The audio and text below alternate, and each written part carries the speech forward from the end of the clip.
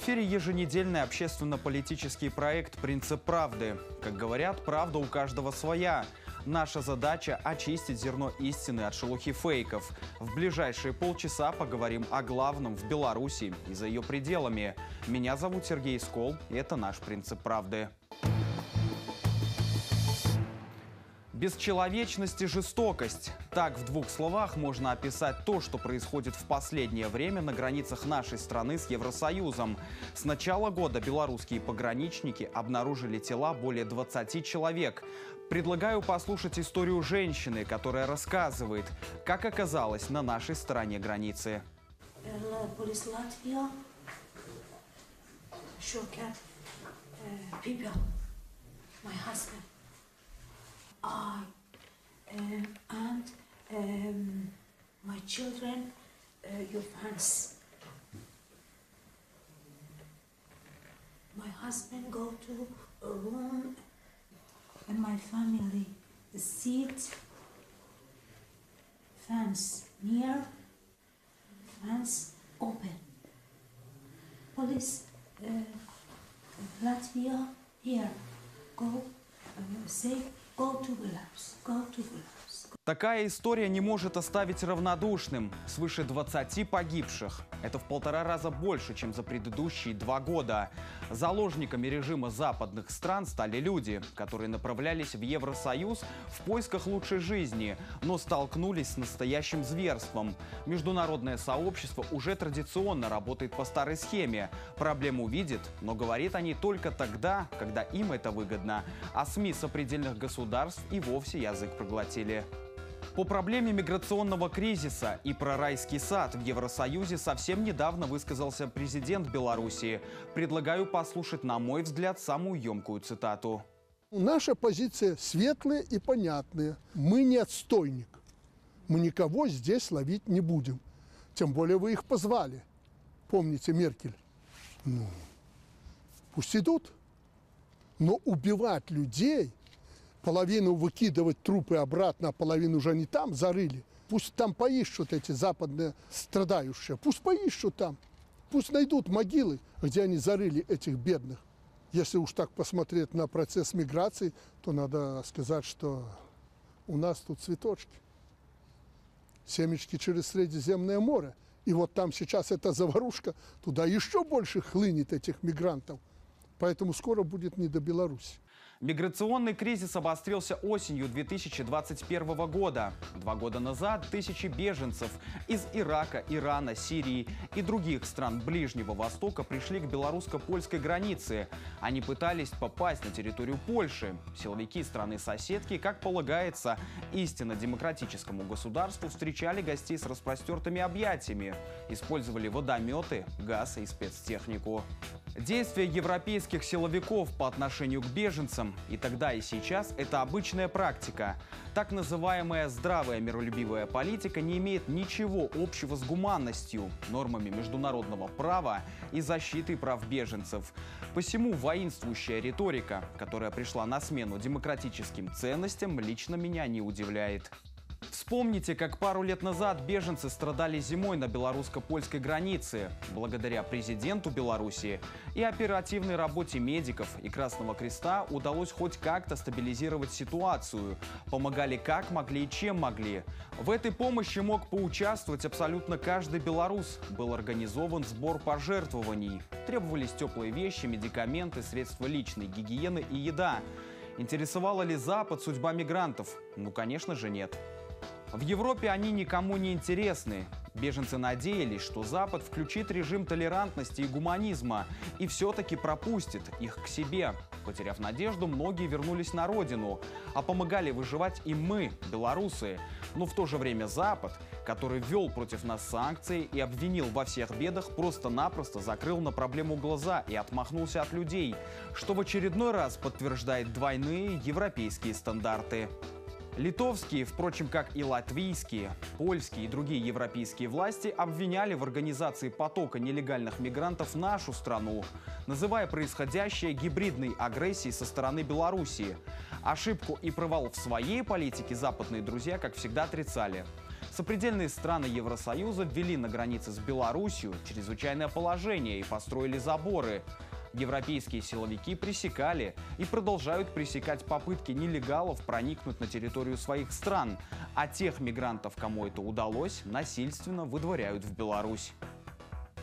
Для решения злободневного вопроса с мигрантами поляки выбрали интересный способ. Построили забор.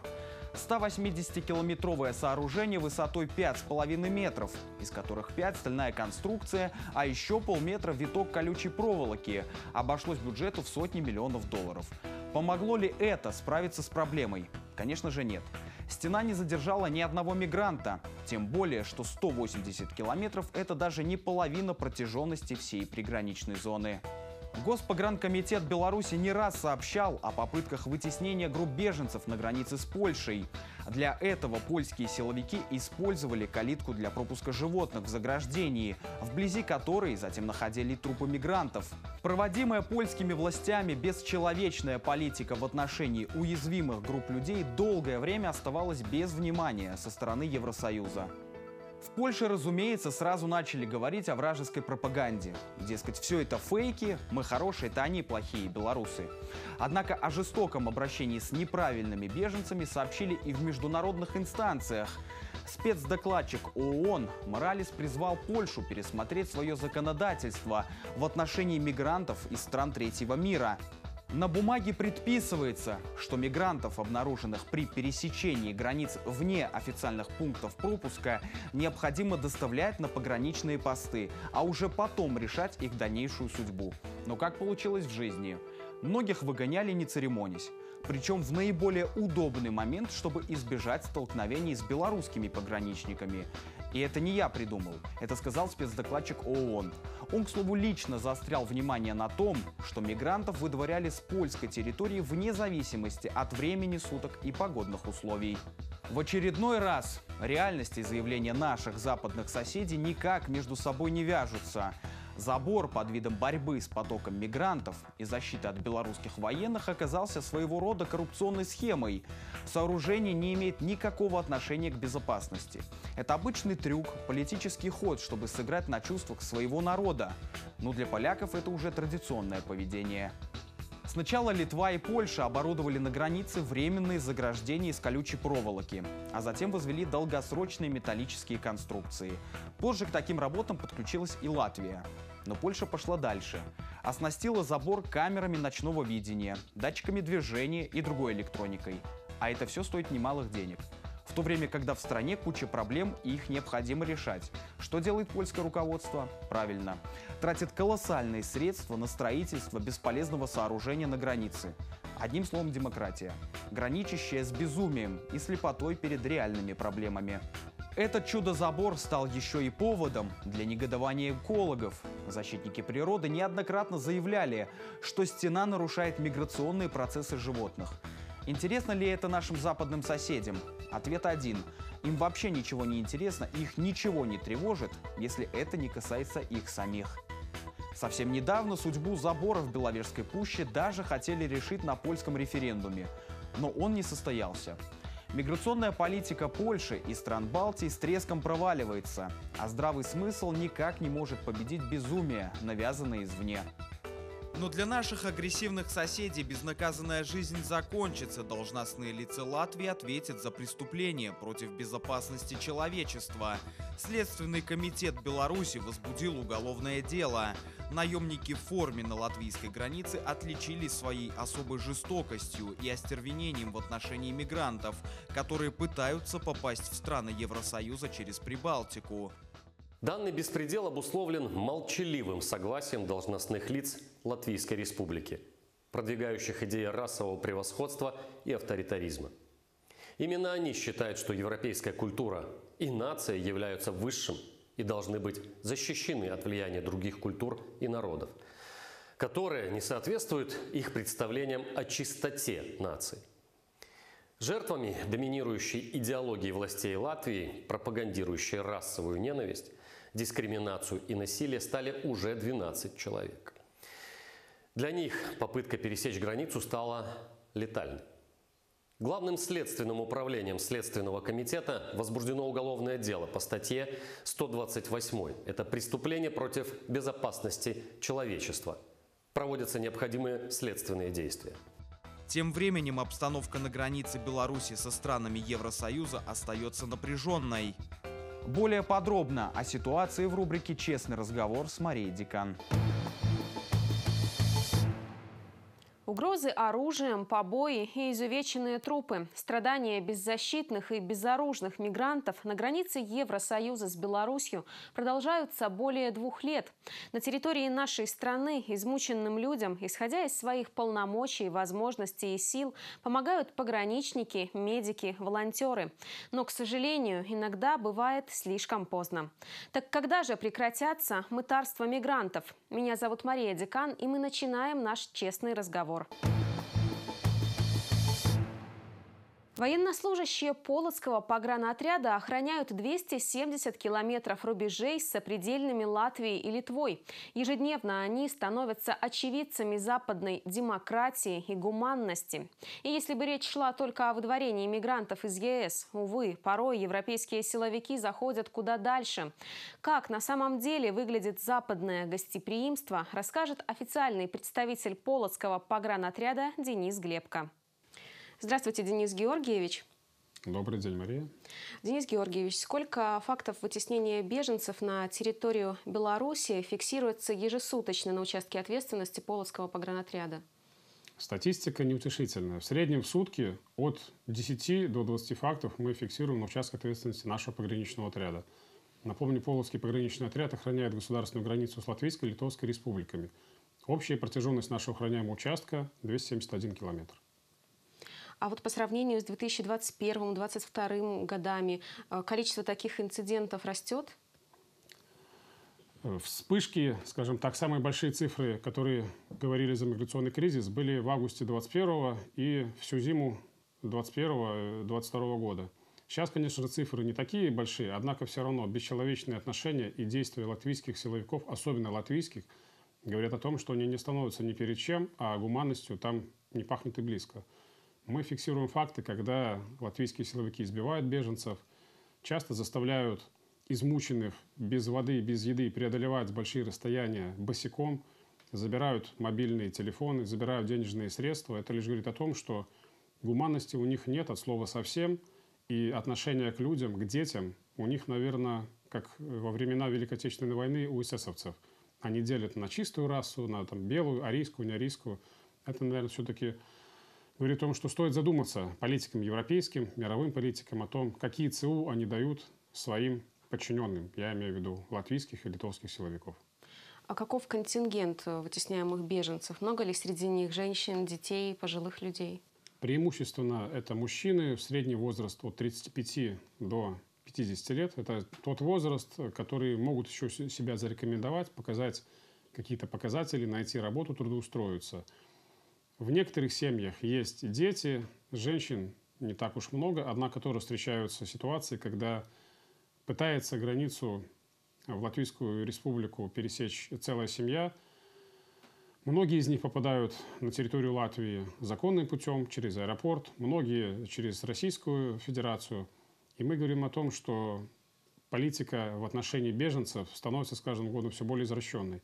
Если еще два года назад, в пик миграционного кризиса, в августе, в сентябре 2021 года, многие беженцы не были готовы к тому, что к ним будет такое отношение, то сейчас уже сами беженцы заявляют, мы уже не раз подвергались пыткам, подвергались насилию, и мы знаем, что они нас все равно будут продолжать бить.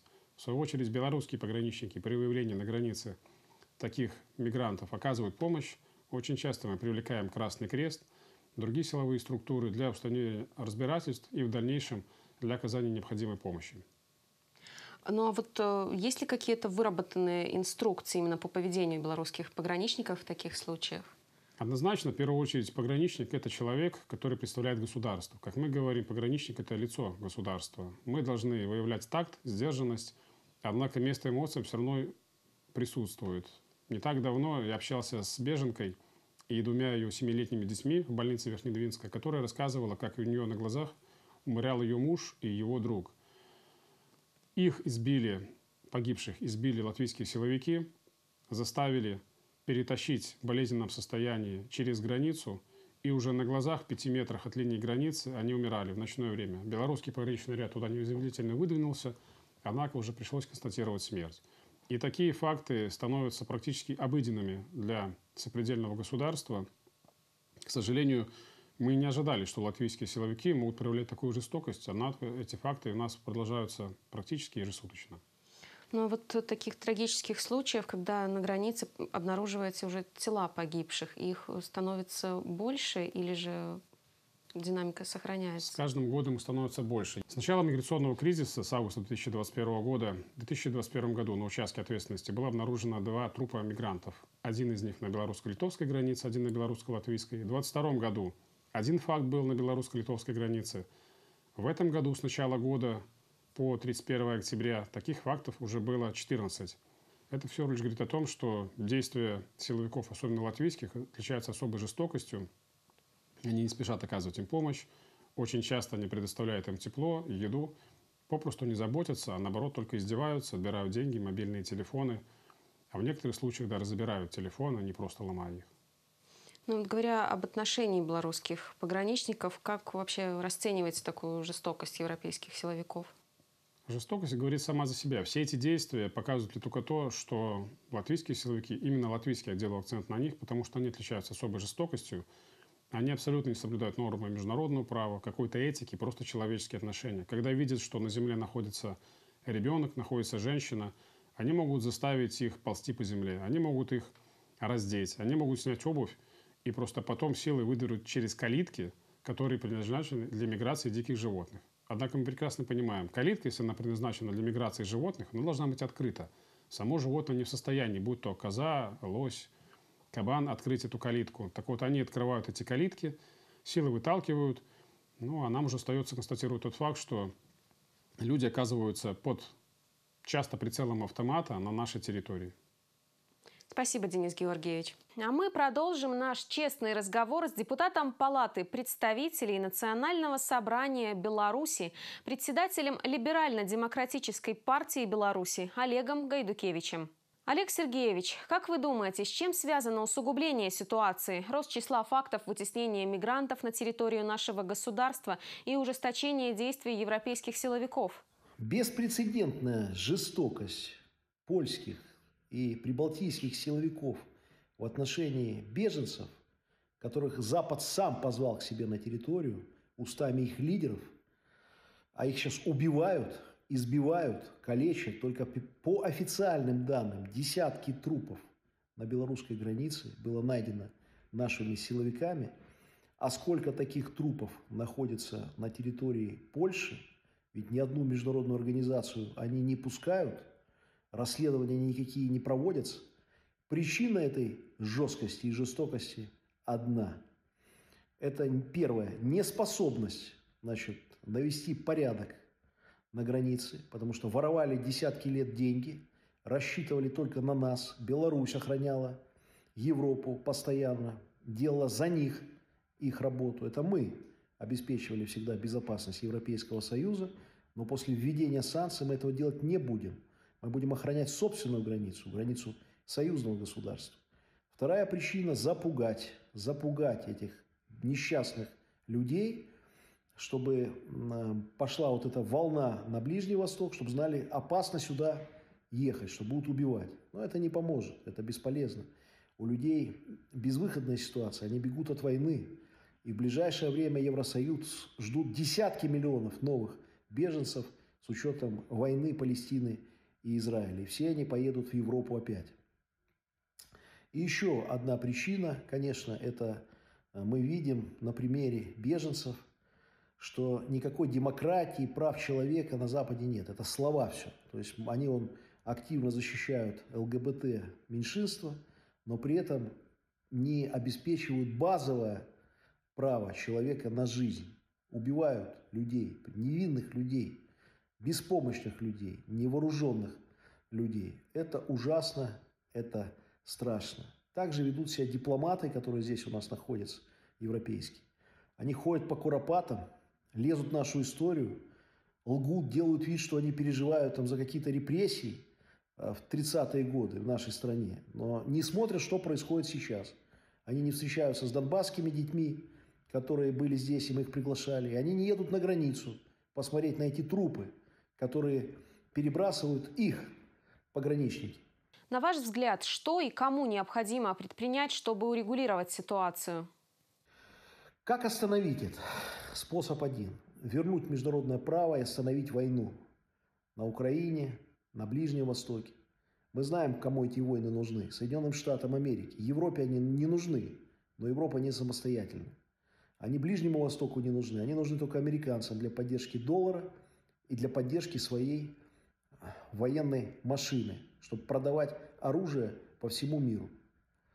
И еще Европа должна стать самостоятельной, независимой, проводить политику в своих национальных интересах. А значит, наладятся отношения с нами, и значит, на границе все будет хорошо. Но миграцию границы не остановишь. Да, мы будем э, работать вместе с европейцами, если они будут с нами нормально разговаривать на равных. Но миграцию не остановишь заборами. Миграцию не остановишь пограничниками. Надо сделать так, чтобы не было причины миграции. А это война. Потому что когда у людей бомбят дома, когда убивают детей, когда Запад бесцеремонно влез на Ближний Восток, разрушил целое государство. Поэтому миграция. Поэтому единственный способ остановить миграцию – это остановить войну.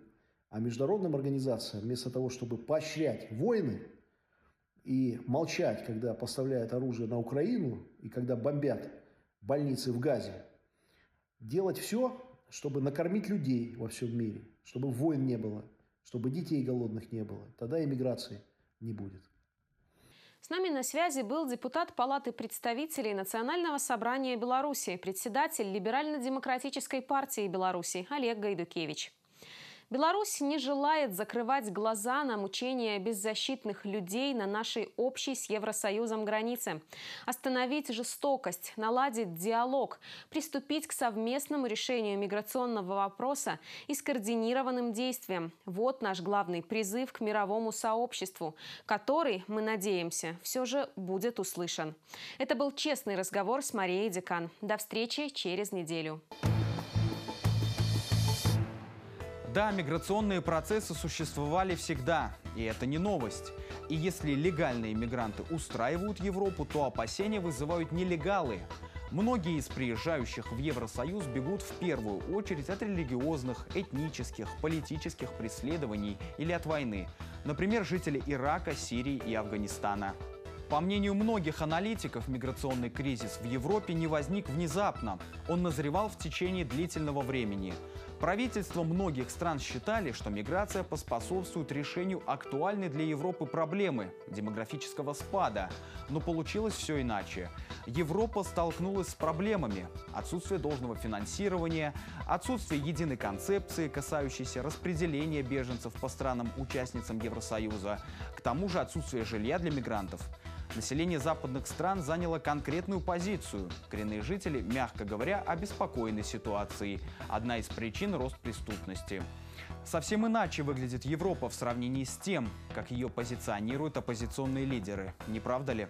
В Европе еще недавно заявляли, что миграция – это позитивное явление, которое пойдет на благо их странам, но не предусмотрели вытекающие из этого проблемы и необратимые последствия – это рост террористической угрозы, дестабилизация общества и усиление оппозиционных партий.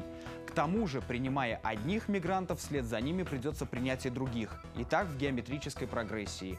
А Западу, в частности Германии и Италии, это не нужно. Давайте откровенно. Почему те мигранты, кто находился два года назад на белорусско-польской границе, хотели попасть в Германию, центр Евросоюза? Отвечу, потому что именно там им была обещана счастливая жизнь. Неспроста Берлин называют хабом миграции. Прошло каких-то два года.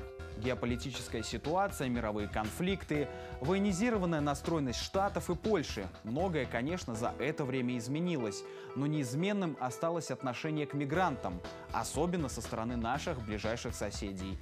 И относиться к этой проблеме, безусловно, можно по-разному.